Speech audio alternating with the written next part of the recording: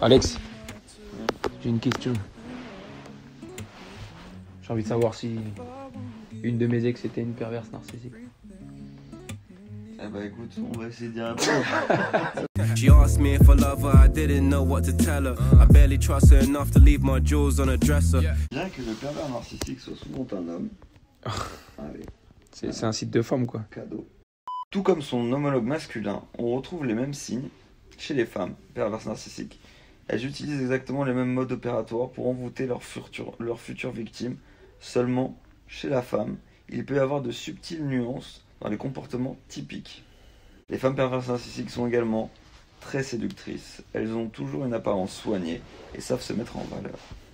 Elles font très attention à leur apparence car elles savent que c'est une arme redoutable qui, qui leur permet d'obtenir ce qu'elles souhaitent.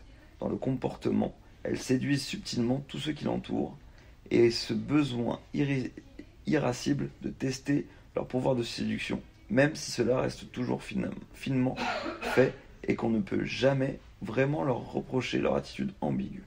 Donc toutes les meufs qui s'affichent sur Instagram, quoi. Damn. Signe numéro 2. Ouais. Le besoin d'afficher sa réussite. Ok. Toutes les meufs qui s'affichent sur Instagram. Ça fait beaucoup, hein Ah, là. Parmi les signes qu'une femme est perverse narcissique, on peut également retrouver le besoin de montrer ses signes de réussite auprès de tous.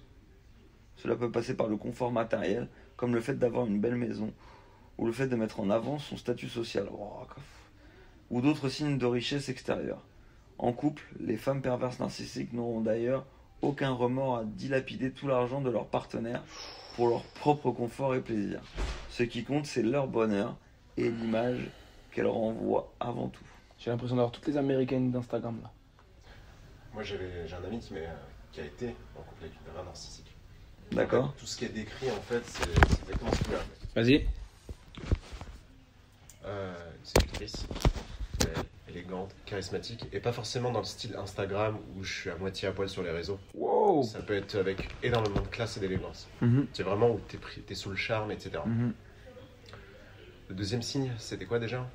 Signe numéro 2, c'était tu dilapides l'argent de ton, euh, ton mari Tu mets en avant aussi et ta tu mets réussite en avant sociale. ton, ton- ta réussite Pareil, et ton fait, statut. ça peut être pas uniquement j'ai de l'argent, mais ça peut être aussi j'appartiens à une certaine classe sociale, à un milieu social, Mhm. à- où je fais partie un peu de la jet set ou de la bourgeoisie Mhm. ou euh, à, une, à la haute société, entre guillemets. Mhm. Ça peut être ça. Et donc, on est sorti Et- de cette meuf Il s'en est sorti, Ok. très heureusement. Et euh, effectivement, avec aussi, euh, je crois, des problématiques d'argent aussi Mhm. qui vont avec. Et il, il avait ce truc de dépendance, euh, une fois qu'il était plus avec elle, genre des repères perdus, euh, genre d'un ça, je saurais pas dire. Ça, tu l'as dans tous les Je cas. saurais pas C'est dire. ta meuf. Mais c'est vrai que. euh, Oui, mais euh, bah justement, ce qu'ils disent, c'est que euh, c'est très compliqué parce que moi j'ai rencontré euh, quelqu'un qui est pareil, qui a été, euh, enfin, qui, qui apparemment était avec une, une, une perverse narcissique. Donc, une meuf, ouais. donc une meuf. Et genre vraiment, bah du coup il, a, il est en travail, il, il est suivi par un psy et compagnie, et c'est un vrai travail de tous les jours pour essayer de s'en dépatouiller, parce qu'une emprise de malade, et avec tous les traits en vrai qu'on a décrits là. Mhm. Et euh, bah, la, la personne en question, c'est. Parce que j'allais te demander comment est-ce que tu peux la définir comme perverse narcissique, la meuf Bah, en fait, C'est quoi qu'elle avait de différent des autres meufs ce qu'on avait vu dans l'épisode précédent, tu sais, avec euh, le descriptif en fait de toutes les techniques de manipulation, une des techniques c'était de dire, ah, il y avait la phase de séduction où j'apprends à te connaître, je note toutes les infos que j'ai sur toi, je prends connaissance euh, de- aussi de tes failles en fait, je les mets de côté. Le jour où je commence à tisser ma toile, je viens te remettre dans la gueule en fait que t'es une merde. Et tu sais quoi, c'est pas grave parce que je suis là. Le sauveur. Ouais, je suis quand même là Mhm. pour toi, tu vois. Mhm. Et là, c'est là que la manipulation elle entre, euh, Ok. elle se met en place, tu vois. Il en reste deux, ouais. Le sexe comme arme de contrôle. Le sexe est aussi souvent utilisé comme moyen de manipulation chez les femmes perverses narcissiques car elles ont bien compris que c'était une arme redoutable pour mener leur partenaire à la baguette. Elles peuvent se montrer très entreprenantes et libérées puis soudainement refuser totalement les relations sexuelles lorsqu'elles n'auront pas obtenu ce, ce qu'elles veulent de vous. J'aime bien rendre une meuf entreprenante. Ah. T'as capté dans le sens où c'était pas forcément son, son, son, son canal de base.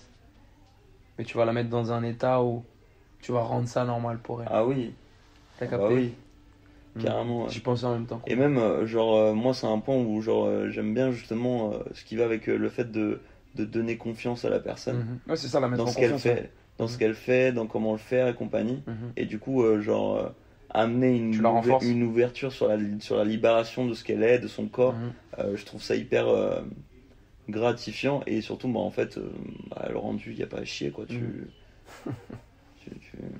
Tout le monde kiffe plus, quoi. Point numéro 4. Donc attends, donc attends, donc attends. Donc t'as dit là le point c'était en gros une meuf qui va être très entreprenante et qui va retirer le sexe de l'équation. À certains moments t'as dit ça. Ouais, en fait, parce qu'elle n'a pas obtenu ce qu'elle voulait.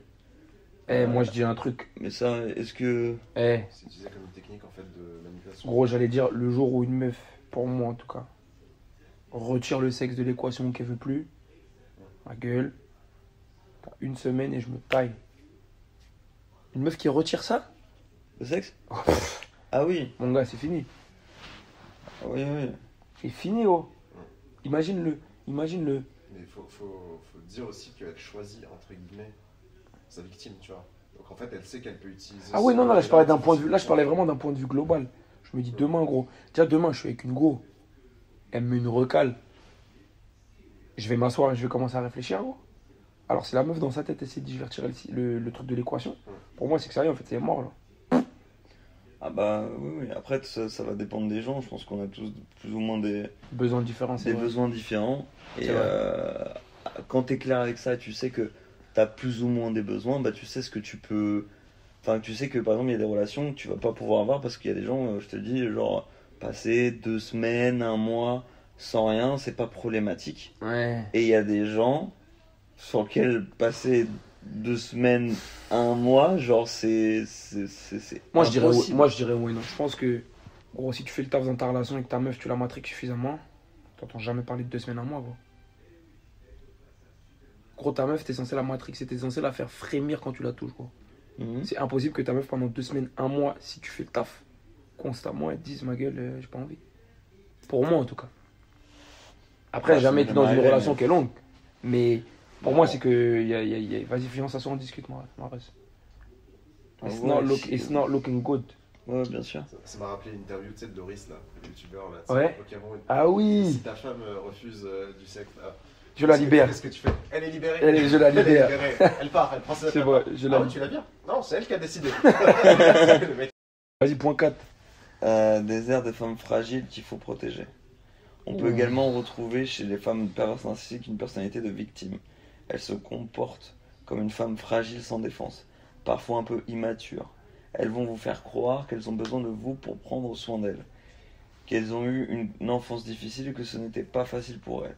Vous allez avoir envie de la protéger et de prendre soin d'elle. Sauveur, en fait, on revient Mm. sur ce. C'est le même point que, que le 2. Ouais, qu'il, bien qu'il puisse y avoir une part de vérité là-dedans, la femme pervers narcissique sait très bien ce qu'elle fait ici et c'est uniquement une, te- une technique redoutable pour faire tomber vos défenses et mieux vous manipuler par la suite. Je pense qu'une meuf, elle a tendance à être comme ça naturellement.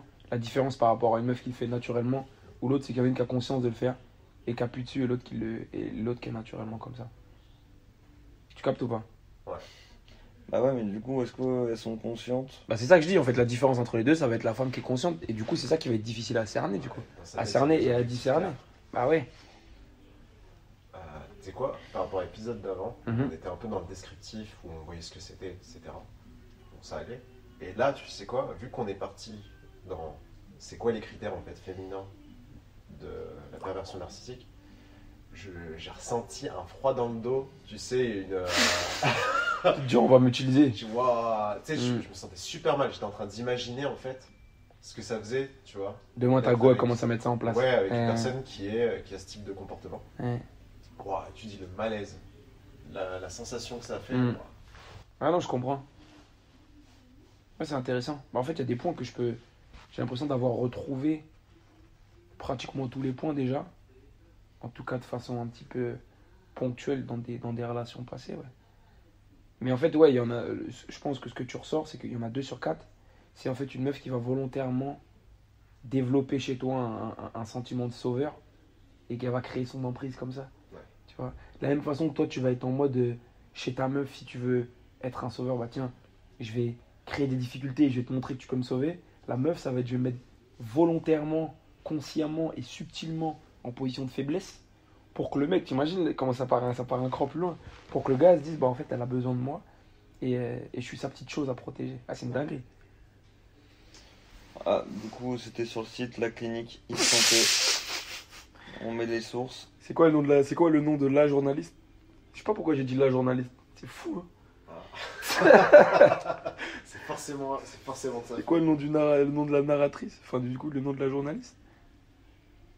Y a pas? Ah ouais. Bon, Alex.